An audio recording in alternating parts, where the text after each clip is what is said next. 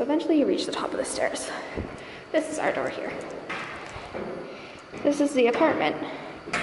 So, very cute, very nice. This is the washroom. Oh gosh, this is the washroom part two.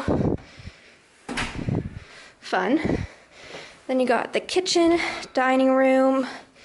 This is the bedroom. Lots of light, it's very nice. Okay, if you go over here, um, this is a pull-out couch, little TV, this guy, and then a nice little patio. And that's it. That's the apartment. Dad gives it five five stars. Nice.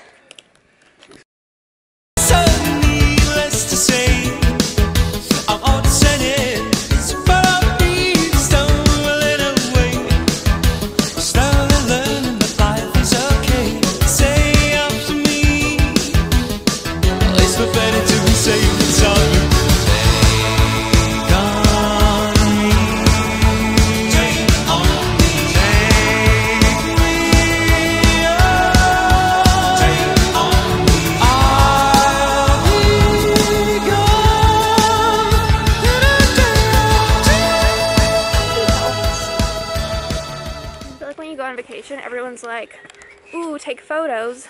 But like, why? Do they want to see them or do they just want us to be taking them? I don't understand the thought process there. Like, I think if people, when you go on vacation, people want to see one They photo. want to see, but not everything that you. Well, Yeah. people overdo it with pic- picture. right? Yes. And they're always posting, it's like, okay, I get it. You're in Spain. Like, say something in Spanish maybe. It's like when people have babies, and it's like, yeah, I'll look at one picture of your baby. I want to know if it's cute or ugly. But then they post like 5 million. It's like, I've already formed an opinion about your baby. You're not changing it. I already think it's ugly.